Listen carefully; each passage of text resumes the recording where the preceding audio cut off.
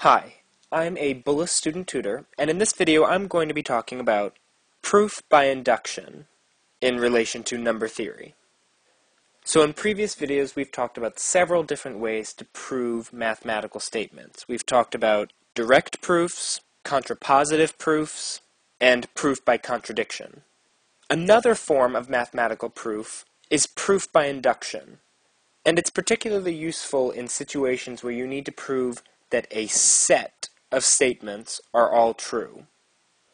So it's used a lot in sequences or series in math when you need to come up with a rule for a sequence or a series. So let's take as an example the following statement.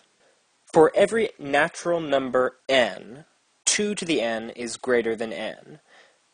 And we should remember that natural numbers are just counting numbers like 1, 2, 3, 4, etc. They're not negative numbers.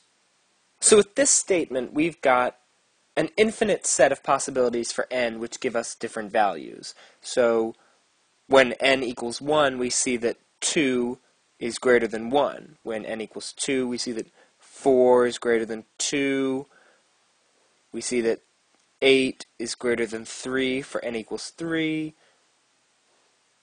16 is greater than 4 for n equals 4, and so on. But we want to prove this for every natural number, not just 1, 2, 3, and 4, which we can see the statement holds up for. So we're going to prove this using mathematical induction. And mathematical induction, in mathematical induction, all the possible scenarios created by this statement are treated like dominoes.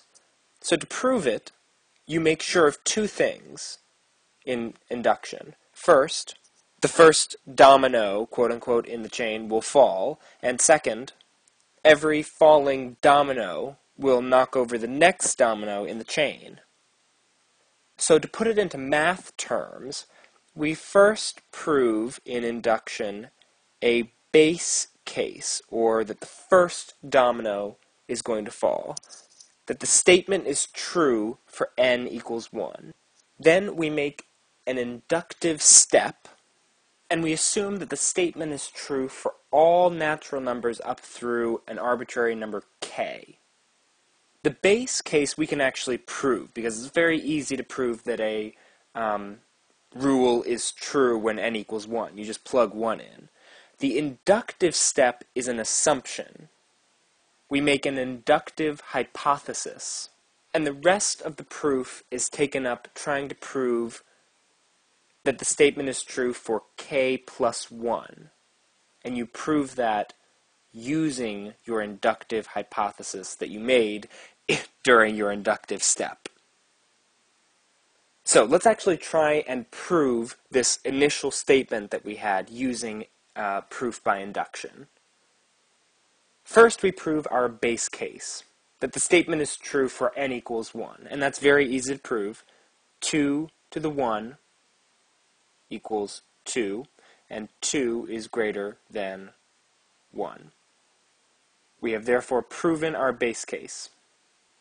Next, we move on to our inductive step, and we assume the statement is true for all k, all natural numbers up through an arbitrary k. And this is our inductive hypothesis that we'll use later on in the proof. So now we have to show that 2 to the k plus 1 is greater than k plus 1. And if we can prove that, that means that our statement is true. So we'll start with our inductive hypothesis that 2 to the k is greater than k. And then we can multiply both sides of this by 2 to get 2 to the k plus 1 is greater than 2k. Using our exponent rules here and realizing that 2 to the k times 2 to the 1 equals 2 to the k plus 1. Now we have to do a little bit of manipulation to k. So we know that k is greater than or equal to 1 because it's a natural number. So we then know that k plus k has to be greater than or equal to k plus 1. Because if k equals 1, which is its lowest amount, that would mean that 2 would be on this side and 2 would be on this side, and they would be equal. If k is anything else, if k were 2, then you would have 4 on this side and 3 on the other, and that pattern would continue for any other value of k. So we also know that from this, 2k, which is the same as k plus k, is greater than or equal to k plus 1. Combining these two inequalities, we then get 2 to the k plus 1 is greater than k plus 1. And if we rewrite this, we realize that this is what we wanted to prove all along. Since our inductive hypothesis was that 2 to the k is greater than k, we had to prove, based on what you try to do in proof by induction, that 2 to the k plus 1 is greater than k plus 1, and we did. Thus, based on the principle of mathematical induction, we have proven our initial statement.